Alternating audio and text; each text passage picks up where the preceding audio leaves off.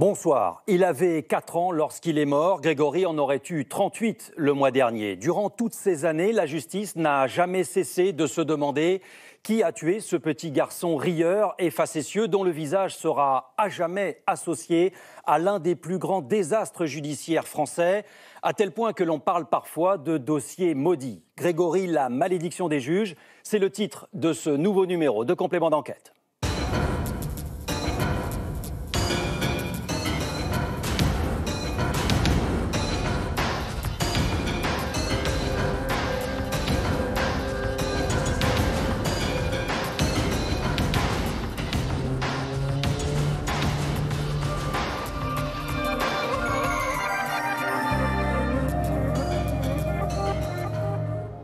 34 ans de souffrance et puis se retrouver euh, tout en prison. J'y crois plus beaucoup la justice, vu ce qui se passe dans cette affaire. Euh, ça apprend à devenir méchant en fait. Je n'y crois plus en leur justice. Ce sont les mots forts prononcés par Ginette Villemain. Ginette Villemain, c'est la belle-sœur de Jean-Marie Villemain. Vous êtes peut-être un peu perdu dans ce dossier. Il est vrai que euh, cette affaire est prisonnière des clans et des haines depuis tellement d'années. Et si l'on a décidé à complément d'enquête de s'intéresser à ce dossier hors norme, c'est précisément pour vous raconter comment et pourquoi la justice a failli, mais en même temps pourquoi elle n'a jamais abandonné ce dossier, signe qu'elle a peut-être quelque chose à se reprocher. Alors pour en parler, avec nous ce soir, maître François Saint-Pierre. Merci, maître, d'être dans ce fauteuil rouge. Vous êtes l'avocat de Christine et Jean-Marie Villemain. On pense beaucoup à eux euh, durant ce, document. On le verra euh, tout à l'heure et on poursuivra cette discussion. Mais d'abord, une question très simple. Est-ce que vous pensez qu'on saura un jour qui a tué le petit Grégory? Je l'espère. Ça n'est pas sûr. Ça dépend beaucoup de la volonté, de la ténacité de la justice, c'est-à-dire des magistrats, des avocats et des gendarmes. Alors, euh, certains parlent de, dossier maudit pour s'en faire une idée. On va se plonger dans ce document euh, subtil et passionnant. Il est signé Nathalie Sapena, Valérie Lucas et Vincent Buchy.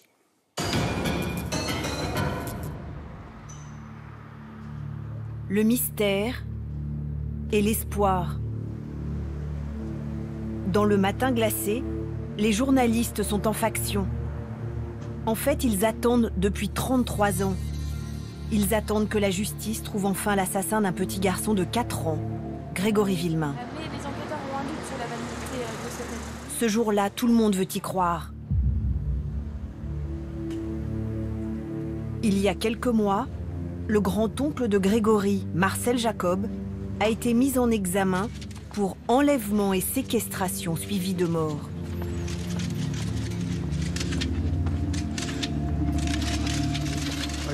Rentrer. Il est convoqué au palais de justice de Dijon pour sa première audition.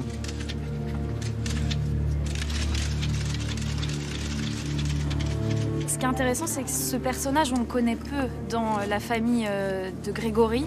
En 1984, on ne parlait pas du tout euh, de Marcel Jacob, on ne l'avait pas du tout euh, euh, mis dans la boucle de, des potentiels suspects. On a vraiment envie de savoir à quoi il ressemble. Est-ce qu'il est, parce qu'il est quand même accusé, en tout cas pour l'instant, il est mis en examen de, de, faits qui sont extrêmement graves. on a envie de savoir un petit peu qui est cet homme. Marcel Jacob, 72 ans, un membre éloigné de la famille du petit Grégory, retrouvé noyé dans la Vologne, pieds et poings liés, le 16 octobre 1984. Une tragédie qui hante la justice depuis trois décennies et qu'elle n'a jamais renoncé à élucider.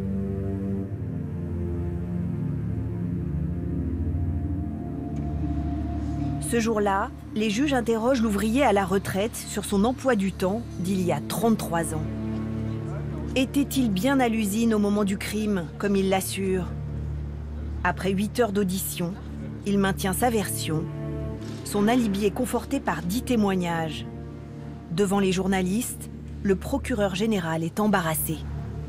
Ce qu'il faut comprendre, c'est que c'est une affaire qui sera longue et que c'est pas euh, sur la foi d'une seule audition que l'on pourra euh, faire des déductions euh, définitives sur la solution de ce dossier.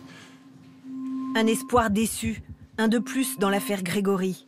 À peine relancée, l'enquête semble mal engagée. Mais est-elle tout simplement faisable aussi longtemps après? Quelques semaines plus tard, Marcel Jacob sera autorisé à rentrer chez lui dans les Vosges et à retrouver sa femme après six mois de séparation. Sa mise en examen est annulée pour vice de procédure. Dernier épisode d'une longue série d'errements et de cafouillages. C'était l'erreur qu'il ne fallait pas commettre. S'il y a un dossier où il ne faut pas commettre d'erreur, c'est l'affaire Grégory. Comment peut-on avoir aujourd'hui confiance en la justice quand on voit que bah, un dossier est maudit jusqu'au bout? Il est maudit depuis le début. Il est maudit depuis le 16 octobre 1984. C'est-à-dire que c'est un enchaînement de défaillances et un enchaînement de dysfonctionnements. L'affaire Grégory Villemain est l'interminable chronique d'une défaite de la justice. De son déshonneur, incapable d'identifier un assassin d'enfants caché dans une famille des Vosges. La dramatique et sordide affaire de l'assassinat du petit Grégory vient de connaître son premier dénouement.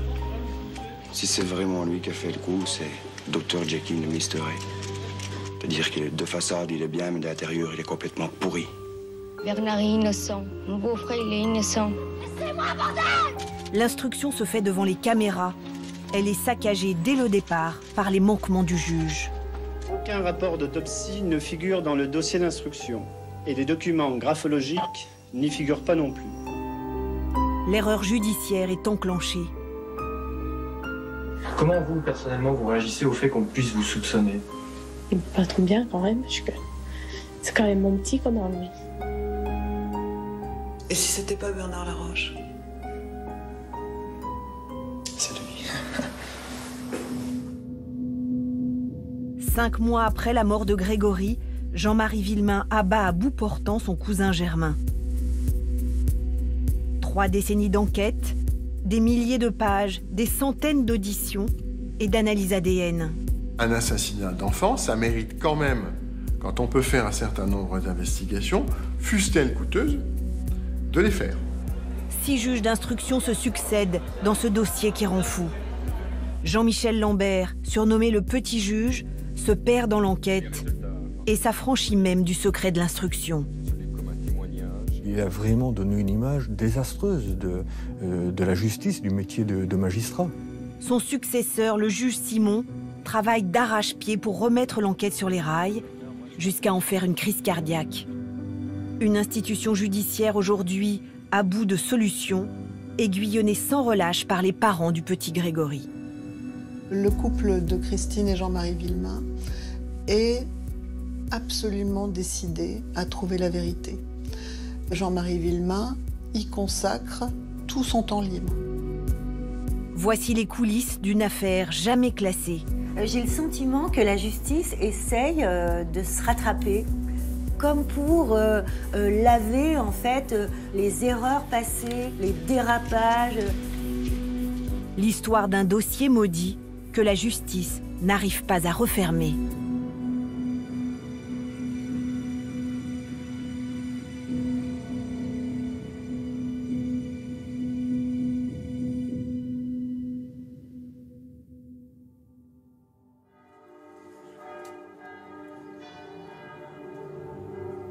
En ce mois de juillet 2017, la malédiction de l'affaire Grégory a encore frappé.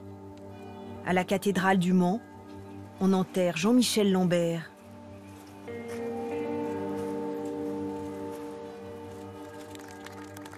Des applaudissements en hommage à un homme considéré ici comme le troisième mort de ce dossier délétère. Le petit juge, comme on l'a surnommé, s'est suicidé à 65 ans, au moment même où trois nouvelles mises en examen relançaient l'enquête. Christophe Gobin est l'un des journalistes qui connaît le mieux l'affaire Grégory. Depuis une dizaine d'années, il avait aussi noué avec le juge Lambert une amitié essentiellement épistolaire. C'est à lui que le juge a envoyé sa dernière lettre. Je l'ai reçu une semaine après son, décès. Euh, la lettre a été écrite, je pense, quelques heures ou quelques minutes avant qu'il mette fin à ses jours. Donc euh, c'est une explication de son, geste. Et il y a un, post-scriptum euh, qui est euh, sans ambiguïté. Je vous autorise bien entendu à publier intégralement ce courrier.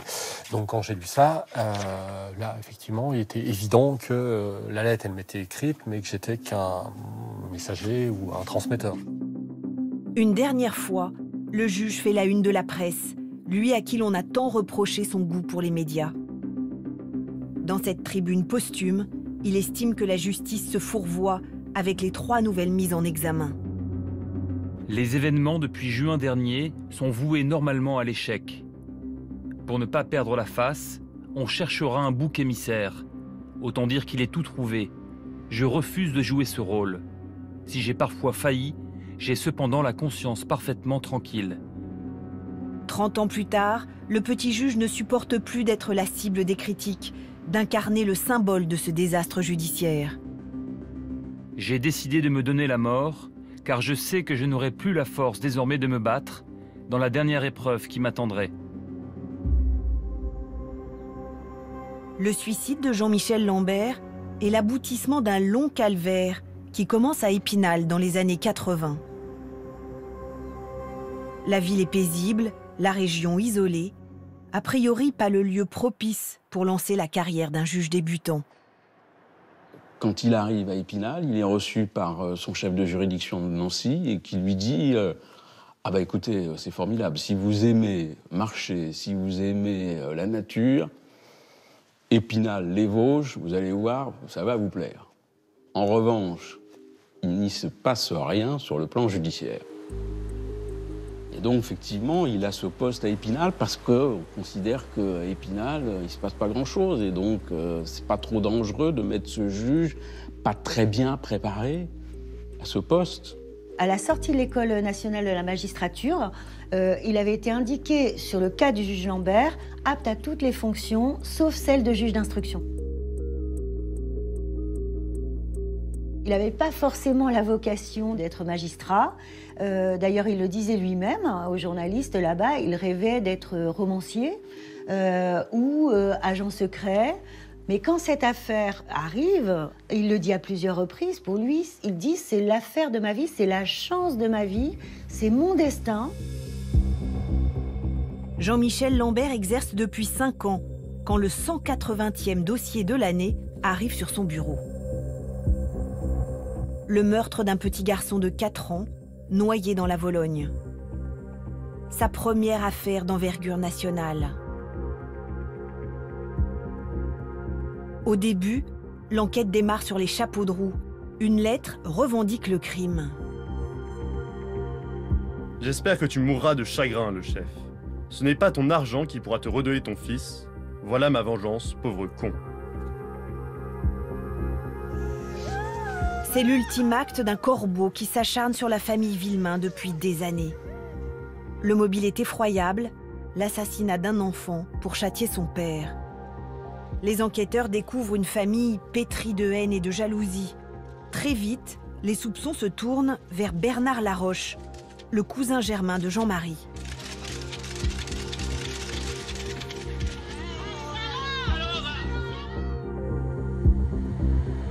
Ce sont les expertises en écriture qui ont mis les gendarmes sur la piste Laroche. Dès les premiers jours, ils font faire des dictées à l'entourage des Villemains. Des dictées main droite, main gauche. 147 dictées que Marie-Jeanne Berrichon-Séden a expertisées à un moment où aucun nom n'émergeait. Elle les a comparées aux quatre lettres écrites par le corbeau.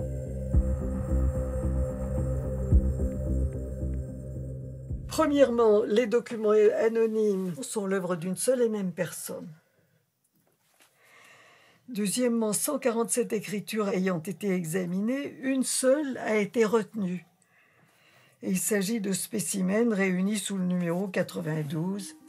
Voilà. Le 92, Bernard Laroche. Mais les conclusions de Marie-Jeanne Berrichon-Séden vont disparaître à cause d'une simple négligence du juge.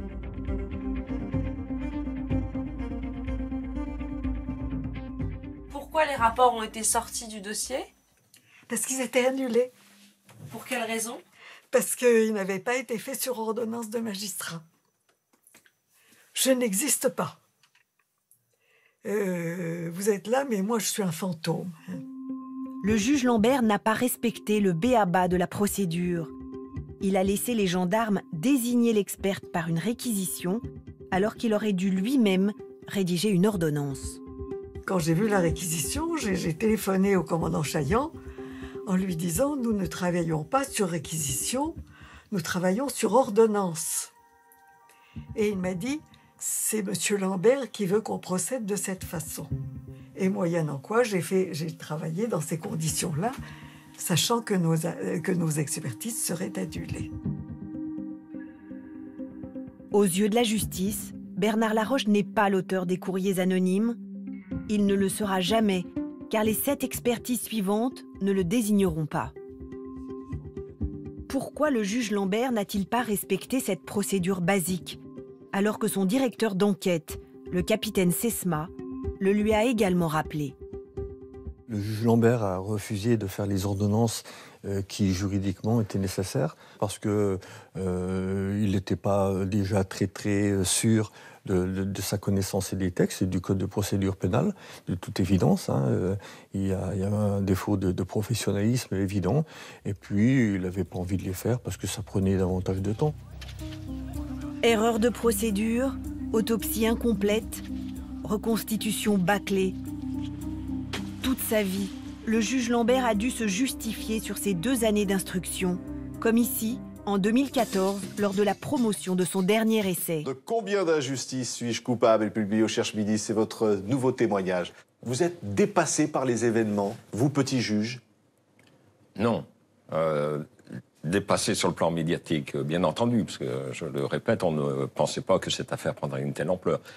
Mais sur l'affaire elle-même, sur laquelle je ne dirai rien sur, euh, sur le fond, euh, nous avions différents indices, éléments permettant de penser que l'affaire serait rapidement résolue. Oui, mais alors on vous accuse encore aujourd'hui. On dit que vous n'avez pas fait ce qu'il fallait, notamment pour les analyses d'écriture du fameux Corbeau qui avait envoyé des lettres. Ça serait euh, trop compliqué à entrer dans le détail. Il faudrait vraiment. Euh, vous, vous rejetez ces accusations finalement Grosso modo, oui. Je précise que j'étais seul juge d'instruction à Épinal du 1er septembre au 31 décembre 84 avec cette année-là, j'ai eu 229 dossiers, j'avais deux cabinets à gérer. Mais en 1984, personne ne se doute encore que le juge d'Épinal n'est pas à la hauteur. Pas même le capitaine Sesma, qui travaille d'arrache-pied sous ses ordres. Les gendarmes ratissent cette vallée ouvrière où des familles hermétiques taisent leurs querelles. Ils multiplient les auditions. Au bout de trois semaines, ils convoquent le témoin numéro 184 la jeune belle-sœur de Bernard Laroche. Muriel Boll a 15 ans. C'est une jeune fille qui est assez euh, renfermée, qui, qui, ne parle pas facilement à l'époque. Donc, c'est au fur et à mesure des questionnements qu'elle arrive à comprendre effectivement le déroulé. La prise donc du, petit Grégory sur le, le devant de sa maison. Devant le maréchal des logis-chefs Burton, Muriel raconte qu'elle était avec son beau-frère quand il aurait emmené Grégory dans sa voiture. Bernard a quitté la voiture. Il s'est absenté deux minutes. Lorsque Bernard est revenu, il était accompagné d'un petit garçon. Il le conduisait par la main.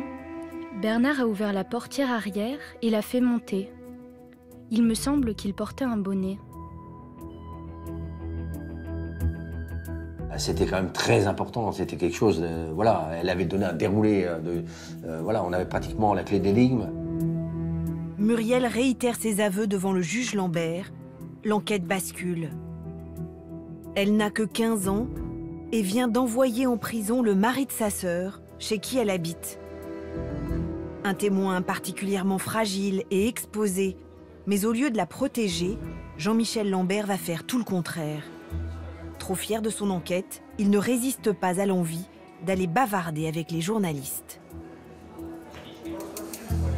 Qu'est-ce qui vous a permis de l'inculper? Un témoignage capital et en partie euh, un rapport d'expertise. Témoignage Des résultats partiels. Ce témoignage est celui de, Muriel? Exact. Qu'est-ce qu'elle vous a dit exactement? Ah ça, je n'ai pas le droit de vous le dire. C'est le secret d'instruction. Mais Muriel a accompagné Bernard Laroche sur les lieux du crime. Elle était dans la voiture. Elle était dans la voiture, oui. Il n'a pas fallu longtemps à Isabelle Béchler, reporter d'Antenne 2, pour que le juge lui livre ses secrets. Trente ans plus tard, elle est encore sidérée par ses réponses. Grand moment où le juge d'instruction ne, ne protège pas euh, ce qui est l'armature de son instruction.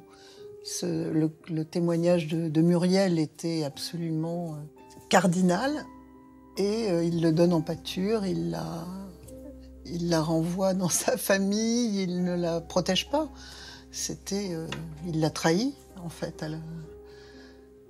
C'était épouvantable. Le soir même, à la télé, la France entière découvre Muriel Boll. Les gendarmes pressent le juge de la mettre à l'abri. Il ne les écoute pas. L'adolescente rentre chez elle, où la famille Boll au grand complet tient une réunion de crise. Aujourd'hui encore, on ne sait pas ce qui s'est passé cette nuit-là dans la maison familiale. Mais dès le lendemain, Muriel se rétracte. Chez le juge à Épinal, puis devant la presse, conviée par ses frères et sœurs sur le perron de la maison. Donc dans cette voiture, dans la voiture de Bernard, vous n'y étiez pas Non, je n'étais pas dans la voiture de Bernard. J'ai jamais été sur, euh, sur euh, l'éponge, tout ça. Où le gosse a été noyé, j'ai jamais été là. Et là maintenant, vous nous dites euh, Bernard est innocent, Bern- je n'étais pas avec lui, nous ne sommes pas allés à l'éponge. Bernard est innocent. Mon beau-frère, il est innocent. Jamais été avec mon beau-frère. Et pourquoi est-ce que vous aviez peur d'être considéré comme sais pas. Elle est euh, dans un mode totalement euh, mécanique quand elle nous, quand elle nous parle. Il n'y a, y a rien de, de spontané. Elle récite sa leçon, là. Sa famille était à côté euh, quand elle a parlé euh Elle était entourée, oui, de membres de sa famille. Des grands frères en particulier. Enfin, il y avait deux frères, euh, dans mon souvenir, qui étaient là. Elle était encadrée. Cette volte-face est-elle due aux pressions de sa famille et de sa sœur Marie-Ange?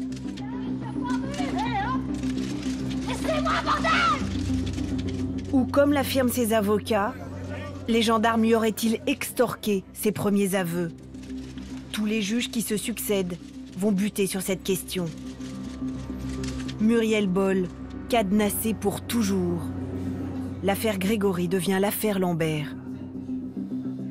Quand vous mettez à un poste de juge d'instruction quelqu'un qui n'a pas, disons-le, les capacités pour les remplir, bah, il fait pas bien son boulot. Avec effectivement en plus un homme qui, euh, euh, séduit un peu par les caméras, va accepter de répondre à quelques questions de confrères à la sortie de son bureau. Enfin, bon, voilà, c'est inimaginable. Euh, personnellement, j'attendais ces rétractations. Elles ne me surprennent donc pas du tout et elles ne m'émeuvent pas euh, davantage. Le juge Lambert euh, rayonnait quand il était devant un groupe de, journalistes ou de, caméras encore plus.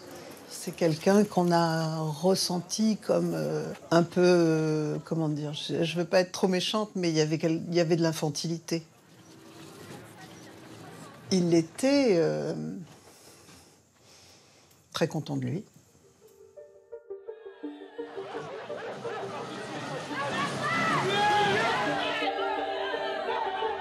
Aux yeux de l'opinion, le coupable est sous les verrous.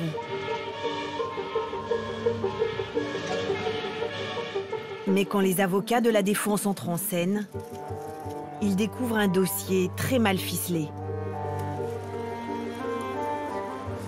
Aucun rapport d'autopsie ne figure dans le dossier d'instruction et les documents graphologiques n'y figurent pas non plus. Nous sollicitons la mise en liberté de Bernard Laroche. L'accumulation d'erreurs de procédure euh, a fait le jeu des avocats de la défense qui s'en sont emparés, qui ont profité des failles euh, du juge Lambert pour faire annuler ces pièces. On ne sait pas en fait officiellement comment est mort Grégory, puisque l'autopsie n'a pas été faite jusqu'au bout. Est-ce que effectivement il est mort euh, dans la Vologne noyée? Est-ce qu'il a eu une piqûre d'insuline puisqu'on a retrouvé une seringue pas loin? On ne sait rien. Quant à Bernard Laroche, son principal suspect, le juge Lambert le garde en prison, mais le délaisse. Il n'ordonne pas d'expertise psychologique et il ne l'auditionne qu'une seule fois. Son procès verbal d'interrogatoire sur le fond tient en trois questions, et donc euh, six lignes. Euh, Est-ce que vous avez euh, joué le corbeau, monsieur Laroche? Il répond non. Est-ce que vous avez envoyé des lettres anonymes? Non. Est-ce que vous êtes allé à l'épanche sur Vologne le jour du crime? Non. Voilà, c'est tout.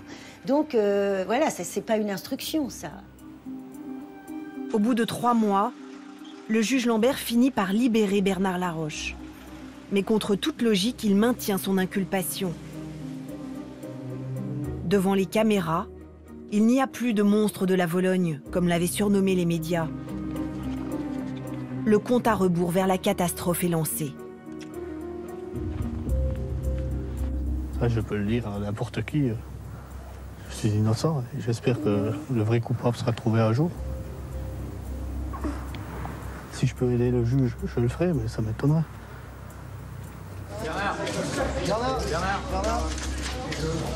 Les avocats ont mis en scène sa libération dans les moindres détails.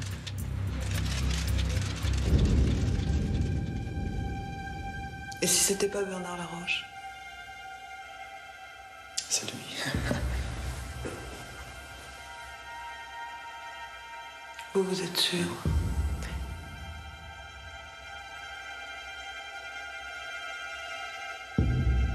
Le 29 mars 1985, Jean-Marie Villemain se rend chez Bernard Laroche et l'abat d'un coup de fusil. Jean-Marie Villemain ne pouvait pas comprendre que Bernard Laroche sorte de prison, toujours inculpé, avec pas de non-lieu. C'était quelque chose de, trop violent, de trop choquant, de trop incompréhensible. Donc euh, Jean-Marie Villemain ne s'est pas euh, caché à certains d'entre nous, quand on allait le voir, de dire que si c'était comme ça, euh, on ne pouvait pas croire à la justice. Il allait falloir qu'il fasse quelque chose. Nous avons essayé de dire au juge Lambert. Mais euh, comme à son habitude, euh, le, juge paraissait au-dessus de ça. Il avait un côté, oui, oui, qu'est-ce que vous venez me dire là? Je sais ce que je fais. euh, une espèce d'indifférence euh, très, très étrange, quoi. À ce stade, le juge Lambert ne maîtrise plus rien. En réalité, c'est toute l'institution judiciaire qui est en roue libre. Trois jours après l'assassinat de Bernard Laroche, le ministre de la Justice, Robert Badinter, est invité à la télé. L'homme qui vient d'abolir la peine de mort défend son petit juge.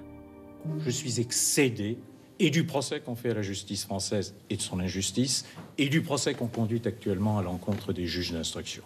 Pas, je tiens quand même à rappeler que ce sont des hommes qui ont des nuits difficiles avec de grands problèmes de conscience. Alors justice aussi pour les juges d'instruction. Le garde des Sceaux ne prend pas la mesure du naufrage de l'instruction Lambert. Une faute pour Maître Moser, l'avocat de Jean-Marie et Christine Villemain qui les accompagne depuis le début. Robert Banater m'a beaucoup déçu euh, dans euh, le traitement réservé à l'affaire Villemain. Les- la hiérarchie de M. Lambert était aux abonnés absents. Le président de la chambre d'accusation a parmi ses attributions celle qui consiste à surveiller le bon déroulement des instructions dans les cabinets des magistrats instructeurs. Eh bien là, la Cour d'appel de Nancy a laissé M. Lambert patauger dans son, marécage et c'est quelque chose que je relève euh, 30 ans après avec euh, colère. La deuxième affaire Grégory démarre. le juge Lambert, sans recadrage de sa hiérarchie, se montre encore plus extravagant. Il abandonne la thèse Laroche et se précipite sur une nouvelle piste, Christine Villemain. Le juge Lambert sentait donc qu'il était obligé de, de, reculer de plus en plus, puisque, euh, puisque les pièces importantes de son dossier, les pièces à conviction, s'effaçaient les unes après les autres.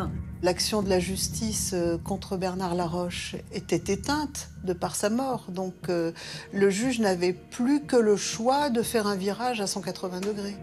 Et euh, la thèse de la mère était la seule thèse possible.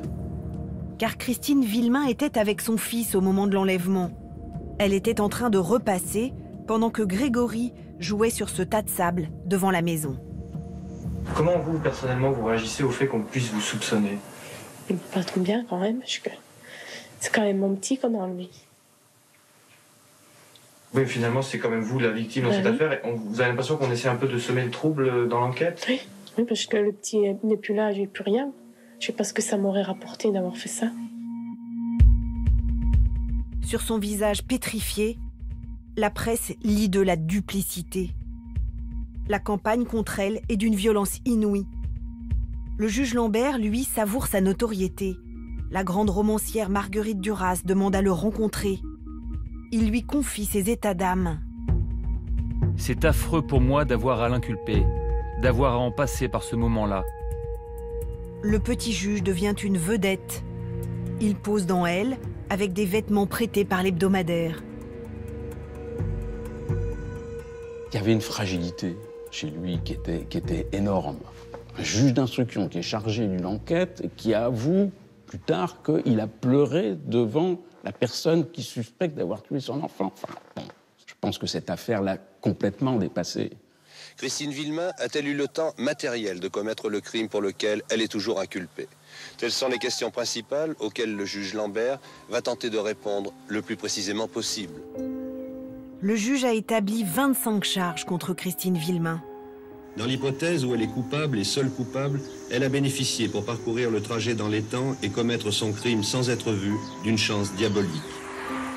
Emploi du temps, témoins inexistants, mobile, aucune des charges ne semble tenir la route.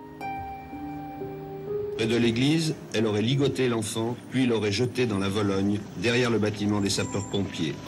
Personne n'a vu l'horrible scène en plein jour, en plein village.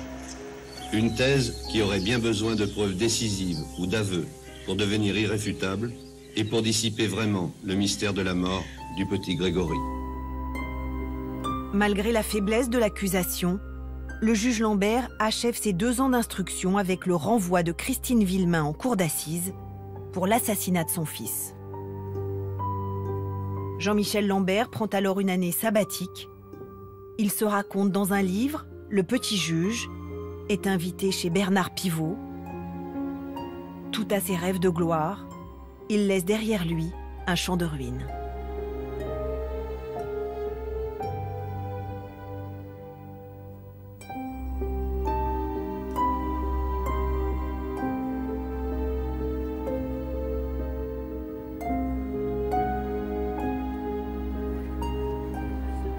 En cette année 1987, la France découvre le successeur du juge Lambert, Maurice Simon.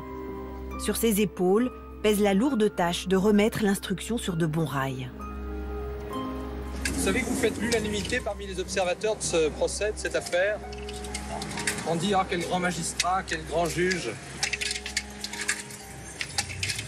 C'est parce que je suis plus grand par la taille que le monsieur Le juge Lambert. Lambert C'est pour ça. Modeste et raide comme la justice. Enfin, vous pourrez constater que je paie mon, mon marque-tête. Le juge Simon, c'est le magistrat de la, cour d'appel de Dijon, donc haut magistrat qui a servi pendant en Algérie, qui a été euh, résistant aussi, euh, et qui est un grand magistrat qui, à cette époque-là, lui, euh, est déjà à l'âge de la retraite. Il doit prendre sa retraite bientôt et il va re- reporter son départ en, en retraite pour instruire ce supplément d'information et il va reprendre tout, faire des reconstitutions sur les lieux du crime qui durent huit jours avec tous les protagonistes de l'affaire. Il va faire plus de 170 auditions, interrogatoires, des gens qu'il réentend plusieurs reprises. J'ai vécu avec Jean-Michel Lambert une pseudo-reconstitution du crime qui a duré, euh, si tout va bien, trois heures. Bien. J'ai vécu une reconstitution avec Maurice Simon qui a duré trois jours. Trois heures, trois jours. Donc ceci pour vous montrer le, le sérieux, la rectitude, la conscience professionnelle de chacun de ces deux magistrats. C'est le jour et la nuit. C'est vraiment un, grand monsieur. Moi, c'est vraiment, euh, dans ma vie, une, personne d'une très haute valeur euh, euh, morale que, j'ai rencontrée. Et je pense que c'est lui qui sauve la justice. C'est grâce à lui que le, char embourbé de la justice est sorti de son ornière. Avec lui, pas de magazine People, pas d'interview au débeauté à la sortie de son cabinet. Pour la presse, le juge Simon est cette silhouette flegmatique, filmée au téléobjectif sur les rives de la Vologne.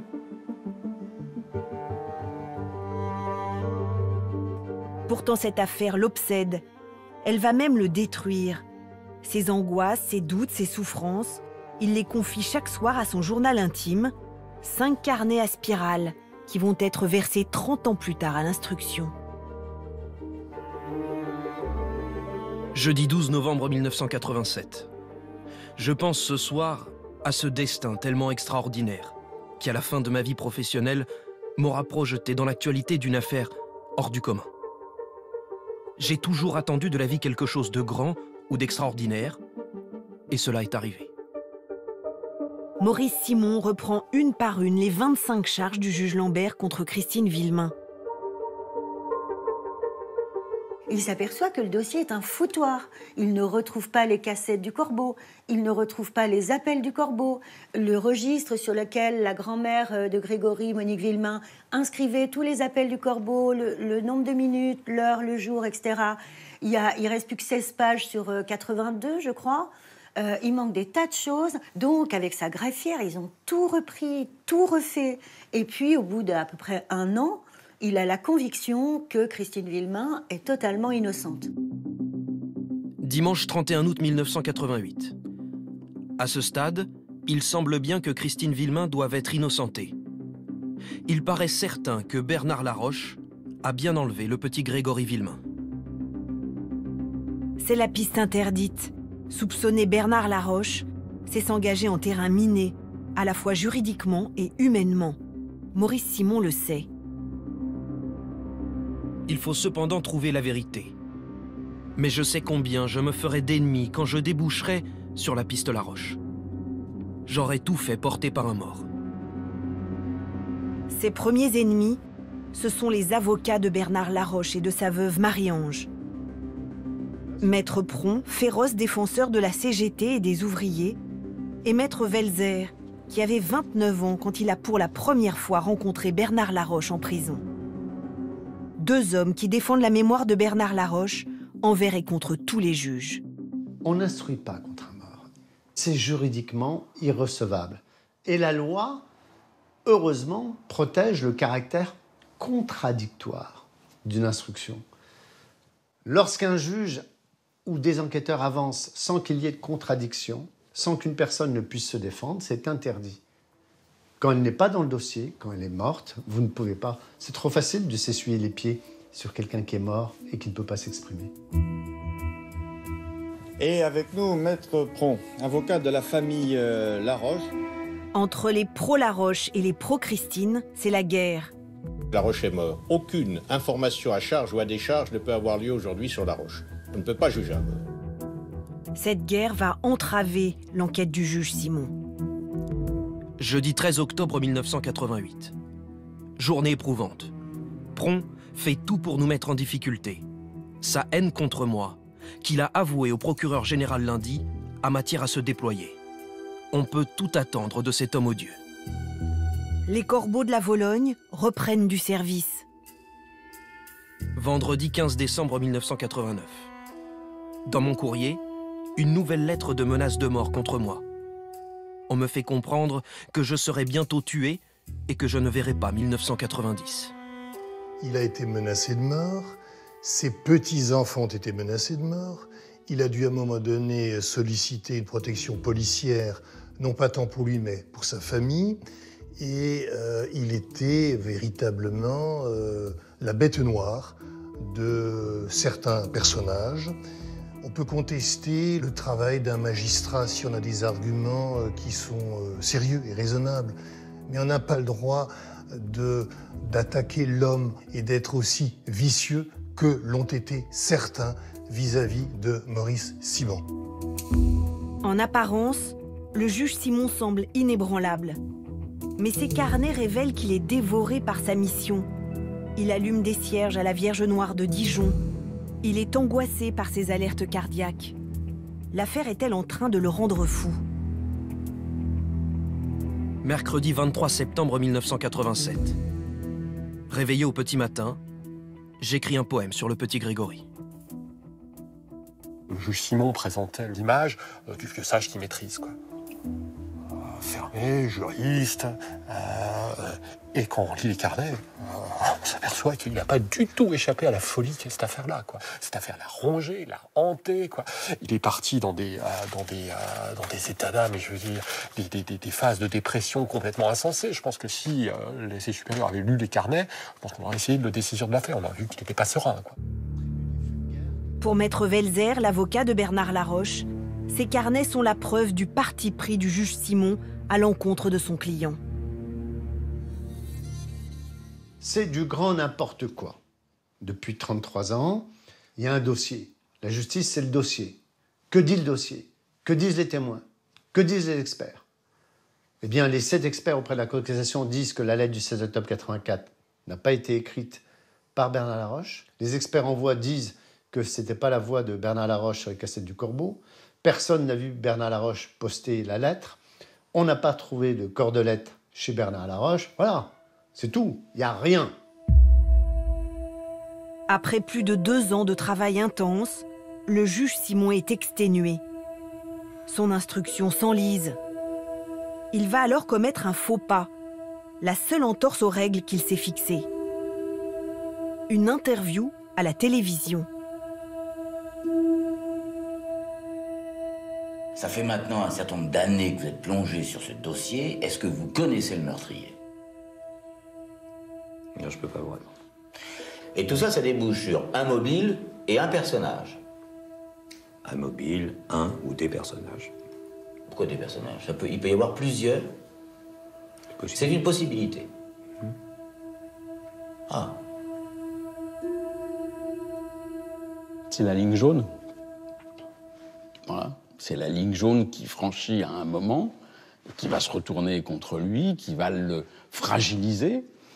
Je pense qu'il y avait aussi, de sa part, une volonté d'envoyer un signe dans les Vosges en disant, voilà, moi, Maurice Simon, j'enquête, j'ai un certain nombre d'éléments, je sais des choses, j'avance. Quelques jours plus tard, le juge se fait piéger par un journaliste du Nouveau Détective. Dans cet entretien publié sans son accord, il cite le nom de Laroche comme potentiel kidnappeur du petit Grégory, une aubaine pour les avocats. Monsieur Simon s'est dessaisi en quelque sorte lui-même. Il vient de dynamiter son instruction. L'interview qu'il a donnée au nouveau détective venant après celle qu'il a donnée à la 5 font qu'il ne peut plus apparaître comme un magistrat impartial. La défense porte plainte pour violation du secret de l'instruction. Le juge Simon est à terre. Vous nous feriez une déclaration, c'est plus simple, parce non Quelle déclaration voulez-vous que je vous fasse? Quelle déclaration voulez-vous que je vous fasse? Jeudi 18 janvier 1990. Le coup est très dur pour moi. J'ai vraiment tout subi dans cette affaire du diable.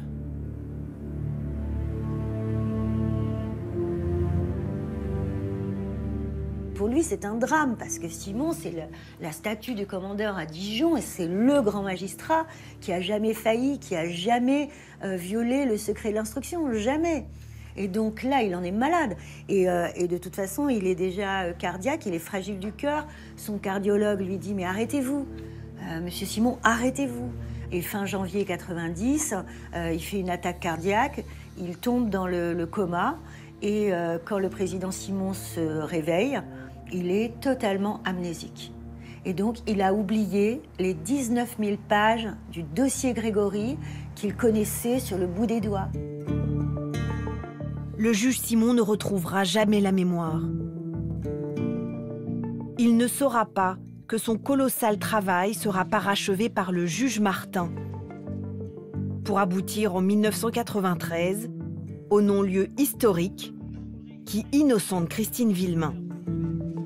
Les 25 charges sont toutes balayées. Il n'y a pas de charge contre Christine Blaise, épouse Villemain, d'avoir assassiné son fils Grégory. Cette erreur judiciaire est anéantie. À ce jour, la seule certitude établie par la justice, c'est que Christine Villemain n'a pas tué son enfant. L'unique procès a été celui de Jean-Marie Villemain, jugé pour l'assassinat de son cousin Bernard Laroche. Le président s'est fixé deux objectifs. D'abord, juger Jean-Marie Villemain pour l'assassinat de Bernard Laroche, mais aussi tenter d'élucider le mystère de la Vologne.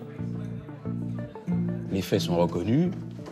C'est un procès qui aurait pu se tenir, euh, allez, on va dire en deux jours. La difficulté, c'est qu'on va y rester euh, sept semaines. Et on va y rester cette semaine parce qu'on va remettre tout le dossier à plat de façon à voir s'il y a quelqu'un qui craque.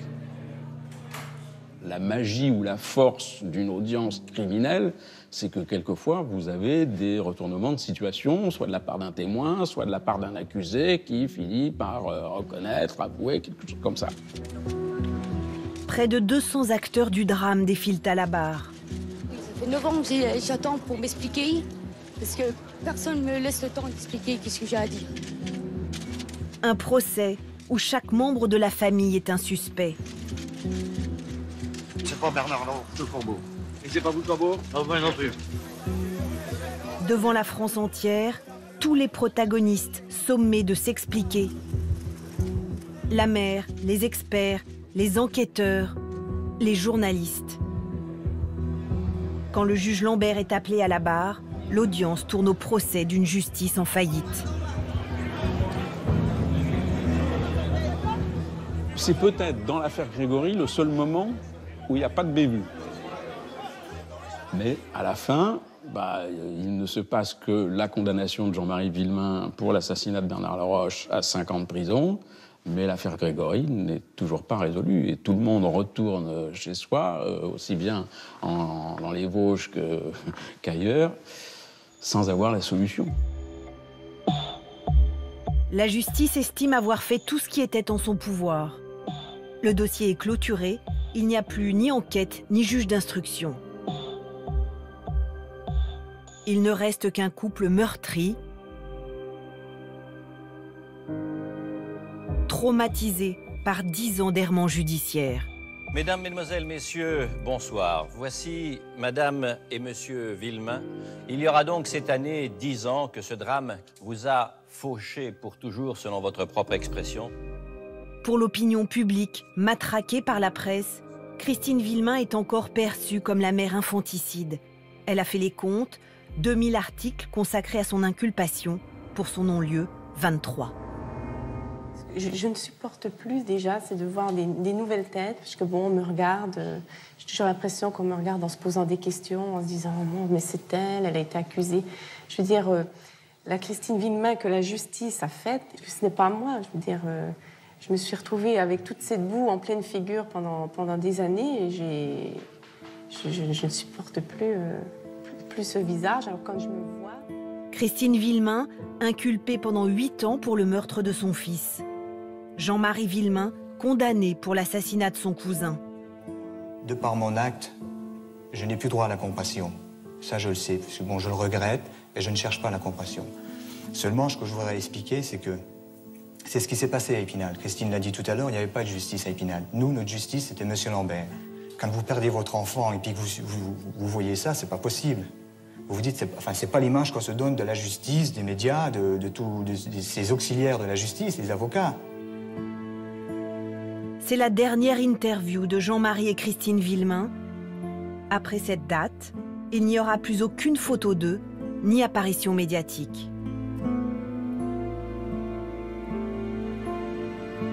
La Vologne se replie sur ses secrets et l'affaire Grégory sommeille pendant 15 ans. 15 années pendant lesquelles les Villemains n'ont jamais abandonné leur combat.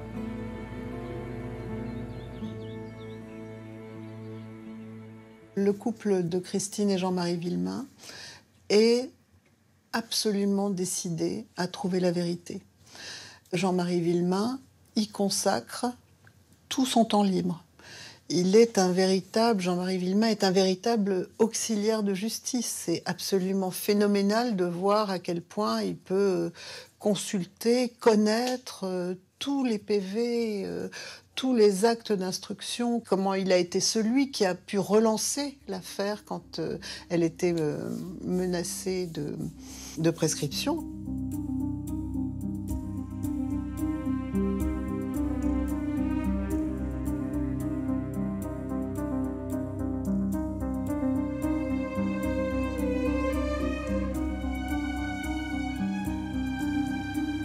Le compte à rebours est lancé. Sans nouvel acte d'instruction, le dossier Grégory sera bientôt prescrit. En 2008, les Villemains sollicitent le seul magistrat en mesure de rouvrir l'enquête, Jean-Marie Benet, à l'époque procureur général de Dijon. Je les reçois et euh, je suis assez, euh, comment dirais-je, impressionné par leur démarche il n'y a pas de rancœur contre l'institution et ils ont encore gardé une grande confiance dans l'institution et dans ce qu'elle peut faire sur le chemin de la vérité. Et c'est un des éléments, croyez-moi, qui ont joué beaucoup pour que j'accepte de réouvrir le dossier. L'autre élément décisif, ce sont les tests ADN, avancées scientifiques majeures qui n'existaient pas au moment de la mort de Grégory. En 2000, il y avait déjà eu une tentative d'identifier la salive du corbeau sur le demi-timbre de la lettre de revendication du crime. En vain. Huit ans plus tard, sur les conseils d'un éminent expert suisse, les Villemains demandent l'analyse des nœuds de la cordelette qui attachait leur enfant. Ces nœuds, gardés sous scellés, n'ont jamais été défaits en 30 ans d'enquête on attendait tous, euh, quand même, euh, en faisant cette démarche, euh, d'avoir une avancée, comme on dit, significative dans, la recherche de la vérité. Bon, nous ne l'avons pas eu. Donc on était déçus, c'est évident.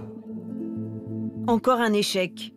Les seules empreintes génétiques trouvées seront celles des gendarmes.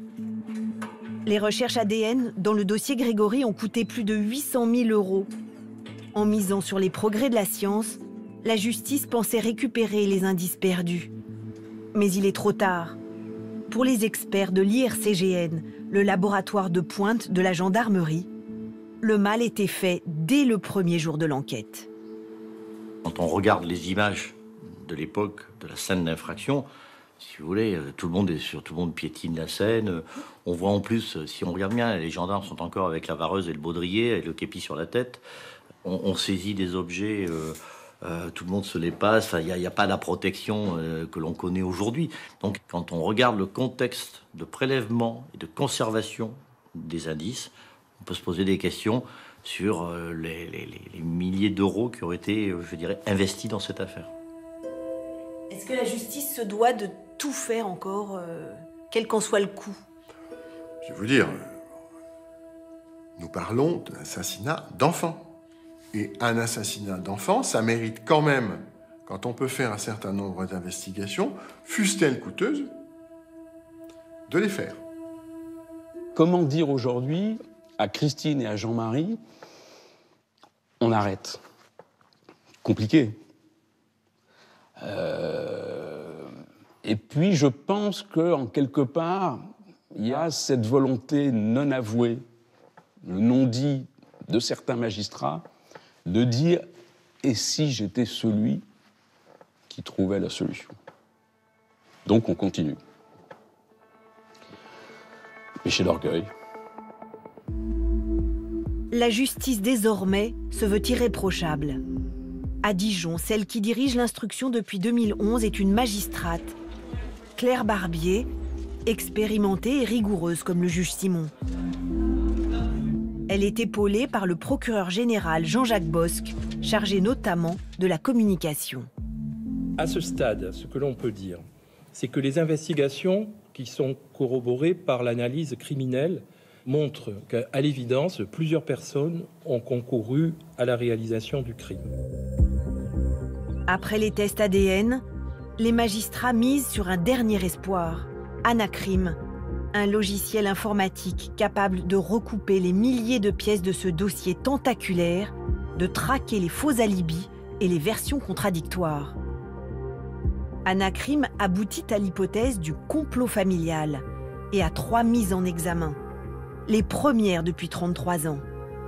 Muriel Boll, aujourd'hui mère de famille, Jacqueline et Marcel Jacob, les grands-oncles et tantes de Grégory.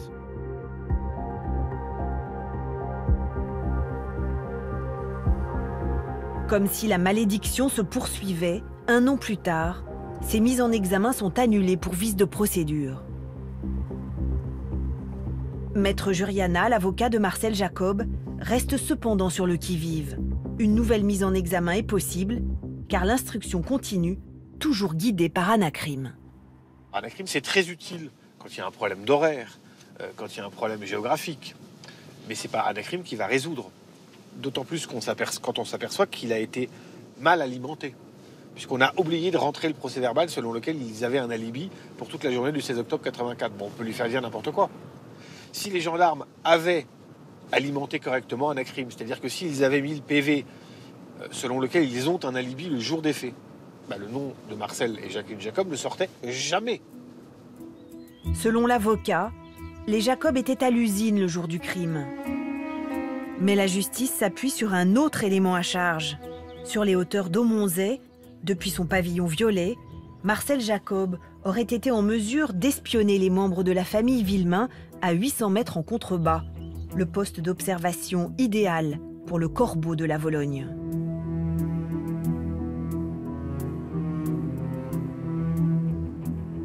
L'hypothèse est invraisemblable pour Maître Juriana, qui veut nous le démontrer in situ.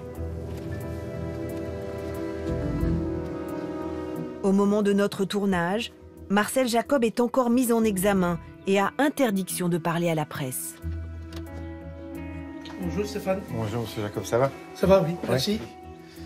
Je viens parce que je veux voir un certain nombre d'éléments euh, pour montrer qu'on ne voit pas, parce que j'en ai assez qu'on puisse dire que tu voyais euh, bien les choses. Donc je viens pour qu'on voit ça, ok? D'accord. Vous pouvez, vous pouvez me laisser tranquille, il n'y a pas de problème. ok? Allez, faites. Merci. À tout de Je suite. vous en prie. L'avocat sait bien que l'affaire se plaide aussi devant les journalistes. Là, on est, en période hivernale, les feuilles sont tombées, donc on peut effectivement euh, tenter euh, de regarder. Moi, je vous invite à le faire, on voit rien. Mais strictement rien. Alors aujourd'hui, on me dit on peut plus le vérifier. Pourquoi? Parce qu'il y a de la végétation qui a poussé. Alors quand on a dépensé des millions et des millions d'euros euh, en expertise qui n'ont rien donné, je dis pas que c'est pas bien. hein. Je dis qu'on n'est peut-être pas à 10 000 euros près d'avoir à couper des arbres. hein. Moi, je suis. Vous pensez qu'il faut couper ces arbres Ah mais moi, si l'accusation persiste à me dire on voyait parfaitement, eh bien je ferai une demande officielle à ce qu'on coupe les arbres. L'avocat dénonce cette justice de bureaucrates cloîtrés dans leur palais de Dijon, à 200 km de la Vologne. Une justice en laquelle certains membres de la famille Villemain n'ont plus confiance. Comme Ginette Villemain. L'an dernier, la tante du petit Grégory a été placée en garde à vue, puis relâchée par la juge Claire Barbier. Qu'est-ce qu'elle vous a dit quand vous l'avez vue? Ben, moi, elle m'a regardé comme si j'étais une criminelle. Ah, ça fait mal. Oh, 34 ans de souffrance et puis se retrouver euh, peut-être en prison. J'y crois plus beaucoup la justice, vu ce qui se passe dans cette affaire. euh, ça apprend à devenir méchant en fait. Jean-Marie et Christine Villemain ont quitté la Vologne depuis longtemps.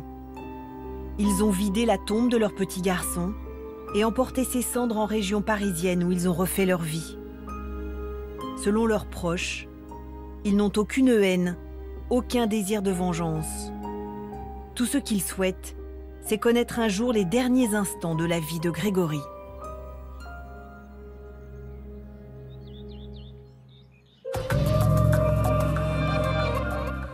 Voilà pour ce euh, document signé Nathalie Sapena, Valérie Lucas et Vincent euh, Buchy. On est évidemment frappé par euh, ces errements de la justice durant toutes ces années.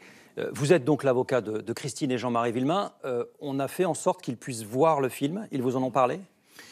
Oui, Jean-Marie m'a dit qu'il avait bien apprécié ce film pour sa rigueur, sa cohérence et son honnêteté. Hein. Il s'agissait de rendre compte de 34 ans de procédure avec euh, des phases extrêmement violentes dans un sens, dans un autre. C'est un, documentaire qui leur semble très fidèle à la vérité historique. quel regard vous portez euh, sur euh, ces errements de la justice durant toutes ces années? Par exemple, est-ce que Christine Villemain, vous l'avez vu, j'imagine, à plusieurs reprises, est-ce qu'elle vous parle des premiers entretiens avec le juge Lambert? Bon, le premier regard que je porte sur l'affaire, je le porte sur Christine Villemain et Jean-Marie la première fois où je les vois. Et ce qui m'a frappé, hein, c'est leur sincérité et en même temps leur euh, sensibilité, leur souffrance extraordinaire. Ce qu'ils ont vécu est abominable. Et euh, la justice en est responsable. Hein. Il faut, euh, lors de ce procès, revenir sur les errements de la justice, vous le disiez, mais la mise en accusation de Christine Villemain était inadmissible c'est un crime judiciaire. Alors la justice, elle s'est rachetée. Un crime judiciaire, hein carrément. absolument. Ce qu'a subi cette femme est inadmissible.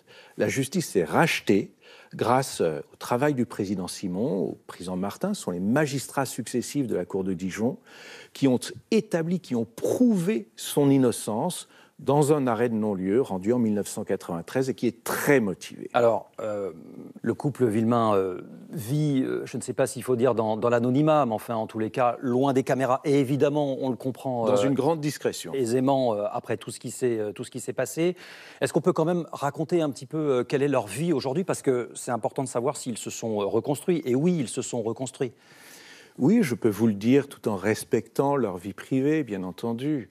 Ce qu'ils ont vécu était terrible. Lorsque euh, l'affaire judiciaire euh, s'est soldée par ce non-lieu pour Christine, par la condamnation de Jean-Marie, vous le savez également, on l'a rappelé tout à l'heure. Pour l'assassinat de Bernard Il a fallu reconstruire leur vie.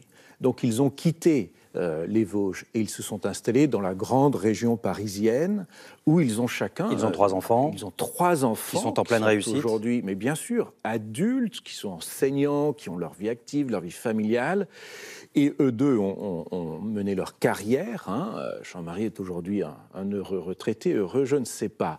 Mais en tous les cas, un homme qui a le temps de penser, de réfléchir au passé qu'il a vécu. Alors précisément, euh, il, est encore plongé, évidemment dans cette affaire et il a un rôle euh, à l'égard de la justice. Vous diriez quoi? Qu'il est d'une certaine façon un auxiliaire de justice, un juge à domicile.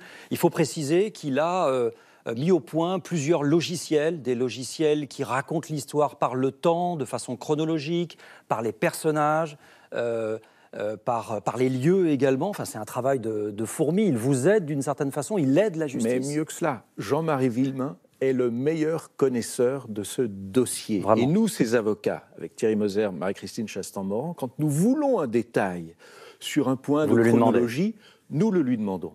Et dans la minute qui suit, ou dix minutes, nous avons un mail avec la réponse. C'est vrai qu'il a mis au point un minute par minute de ce qui se passe entre 17h15, qui est le moment de la disparition supposée de, mm. Grégory, si je, si je ne me trompe pas, et 21h, qui est l'heure euh, officielle constatée de, de, la mort, et c'est sur cette période que se concentrent à peu près toutes les interrogations aujourd'hui. Est-ce qu'il a vraiment un minute par minute, par exemple, de cette période-là? Écoutez, Jean-Marie Villemain a fait un travail extraordinaire de reconstitution de ces minutes, de ces secondes, du moment de l'enlèvement de son enfant jusqu'à la découverte de son corps. Et pourquoi? C'est parce que cet homme est habité cruellement par la mort de son enfant et que jusqu'à son dernier souffle, il voudra connaître la vérité, et Christine également. Et cela, c'est un sentiment tellement humain, tellement profond et légitime, qu'il est tout à fait normal que Jean-Marie Christine Villemain veuille que la justice aille jusqu'au bout. Alors, euh, est-ce que le dossier est dans l'impasse aujourd'hui ou pas? Non, je ne crois pas.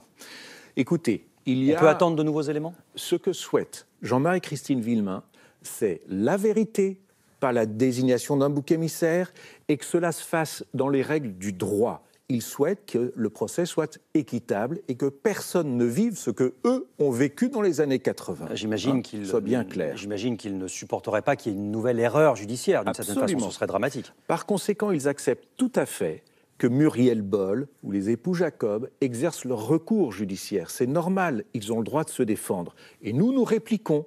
Et c'est ainsi qu'actuellement, la Cour de cassation se prononce sur la validité de la procédure, tant celle des années 1984 et suivantes, d'aujourd'hui. Bien, la Cour de cassation va se prononcer. Quand cela sera fait, j'espère avant la fin de l'année, la, la- la- la- la justice à Dijon pourra reprendre le cours des investigations qui ne sont pas totalement suspendues. Hein. Alors précisément, pa- parlons-en, pardon de vous couper, mais est-ce qu'il y a de nouveaux éléments euh, auxquels il faut s'attendre ou sur lesquels travaille la justice? Est-ce qu'il faut s'attendre à des nouveaux prélèvements ADN Alors, vous savez que si la justice a relancé l'affaire euh, autrefois, c'est à la recherche de, de traces d'ADN sur la cordelette, cordelette. sur des objets, des enveloppes, etc. Bien. Jusqu'à présent, ça n'a pas donné grand-chose. Il y a encore un espoir? Et oui, parce qu'il y a encore des traces d'ADN qui n'ont pas pu être identifiées. Sur On la fameuse pu- cordelette ou ailleurs Oui, on Oui. n'a pas pu mettre de nom dessus. Donc, euh, il est tout à fait possible que dans les mois qui viennent, de nouvelles personnes soient identifiées. Nouvelles personnes C'est possible. Ou des gens qui sont dans le dossier, Ou qui mais sont dans le auxquels on n'a pas forcément pensé. Exactement. D'accord. Concernant les, les enregistrements audio, on sait qu'il y a, euh, alors là ça fait référence au, au fameux euh, corbeau, Euh, il y a des enregistrements audio. Avec la science aujourd'hui, est-ce qu'on a des moyens de d'en savoir un peu plus? Est-ce que la science peut rattraper les erreurs judiciaires d'une certaine façon du passé? Ces enregistrements audio ont été analysés, expertisés, notamment par la gendarmerie, et permettent d'identifier des voix, des sons. Euh, certains avocats rient en disant Ah, on entend des marches, etc., sur un escalier. Ce qui permet de deviner d'où le, coup de fil aurait été passé. C'est très sérieux. Et par conséquent, euh, l'exploitation de ces enregistrements permet de reconstituer ce que l'on appelle classiquement une scène de crime. Voilà. Et lorsque cette scène de crime sera parfaitement établie, cela voudra dire qu'un procès devant une cour d'assises est possible. Il y a aussi des, témoignages qui, d'une certaine façon, euh, réapparaissent ou sont entendus peut-être d'une nouvelle façon. Euh, euh, je pense notamment aux témoins de cette fameuse voiture qui quitte le domicile familial à, à 17h15. euh, ce témoin qui croit voir donc quelqu'un ressemblant à Bernard Laroche et quelqu'un ressemblant à Muriel Boll. On rappelle que ce sont les deux auteurs supposés pour le moment. Ils sont présumés innocents, mais auteurs supposés. Est-ce que ces témoignages-là peuvent être comment dirais-je, à nouveau entendus, enfin je ne sais pas comment il faut dire, mais euh, à nouveau validés par, le, par, la, par la justice Bon, le temps a passé, bien entendu. Mais moi, ce que je pense, c'est que certaines personnes, dans la Vologne, dans le cercle familial élargi, n'est-ce pas, des Boll et des Jacob, savent. Ils savent ce qui est tenu secret jusqu'à présent. Et l'espoir que j'ai, c'est que l'une de ces personnes comprenne enfin un jour qu'il n'est pas possible humainement de conserver ce secret et qu'il faudra dire la vérité pour Jean-Marie et Christine Villemain, pour la mémoire de Grégory, mais pour nous tous. Ça n'est pas possible de vivre avec le secret de la mort de cet enfant. Et alors vous me Voilà. disiez, parce que ça fait très très longtemps que dure euh, cette affaire, euh, qu'il y a peut-être un espoir aussi avec les nouvelles générations, Mmh, tout à fait. à, qui vous faites euh, Ouais. allusion, ou en tous les cas, à quoi faut-il s'attendre? Je pense que les euh, jeunes générations du clan Boll, Jacob, peuvent un Les jour, enfants des protagonistes, oui, considérer que ce n'est pas possible de porter un tel fardeau. Ils savent des choses. Certains savent. Eh bien, moi, je souhaiterais qu'ils parlent. Dans quelle, dans quelle disposition d'esprit euh, sont vos clients, Christine et, et Jean-Marie Villemain, euh, face à tout cela? Est-ce qu'ils ont quand même une, une thèse? Est-ce qu'ils avancent euh, une idée assez précise de ce qui a pu se passer entre 17h15 et, et 21h, sans que vous me le dévoiliez évidemment, mais est-ce que vous sentez quelque Bien. chose de ce point de vue-là? Vous savez que pendant des années, ils ont été convaincus de la culpabilité de Bernard Laroche. La justice a progressé. Les gendarmes, grâce à Anacrim, ont mis en exergue la possibilité de l'intervention d'autres personnes, ce qui bouleverse leurs convictions, bien entendu. Et je pense euh, euh, profondément à Jean-Marie, euh, le film le dit, euh, s'il a tué Bernard Laroche, c'est convaincu qu'il était le coupable. Et il ne s'en glorifie pas, bien entendu. Au contraire, il porte ce, ce fardeau sur lui et il le portera jusqu'à la fin. Mais là, les gendarmes révolutionnent la théorie du crime et disent que Bernard Laroche aurait enlevé l'enfant et ce seraient d'autres personnes qui l'auraient tué. Donc bien sûr qu'ils souhaitent savoir la vérité et ils sont donc en même temps confiants, patients et en même temps, euh, comment ne pas être sceptiques Merci Maître euh, Saint-Pierre. Vous pouvez bien sûr nous euh, interpeller, nous interroger sur les réseaux sociaux, sur Facebook, euh, sur Twitter. Je voudrais remercier Thomas Soto de m'avoir si chaleureusement passé le relais en public, vous l'avez peut-être vu la semaine dernière, mais aussi dans la coulisse. Merci également à Nicolas Poincaré de nous souhaiter une belle rentrée sur les réseaux sociaux. Je voudrais dire que je suis évidemment très fier de m'asseoir pour la première fois dans ce fauteuil. C'est celui de quelqu'un qui a beaucoup compté pour moi, pour nous tous, Benoît, Benoît Duquesne. Il a été euh, mon guide d'une certaine façon, euh, celui qui nous a appris, à moi, mais à, tant d'autres, à mettre, comme on dit, le pied en travers de la, porte. Je remercie euh, Thomas Auro, qui est le rédacteur en chef de cette émission, Clément Castex et Samuel Humez, qui sont les rédacteurs en chef adjoints, Caroline Durand, qui m'a aidé à préparer les plateaux, Philippe Lallemand, bien sûr, avec toute son équipe, qui est le réalisateur de cette émission. La semaine prochaine, euh, on vous parlera de Donald Trump.